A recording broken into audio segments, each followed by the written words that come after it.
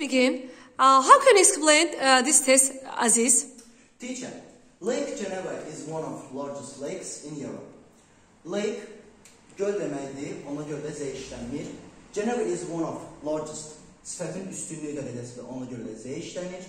Lakes in Europe olduğuna görə Europe qitadır, ona görə də işlənir. Okay. Cavabımız B. Yes, you are right.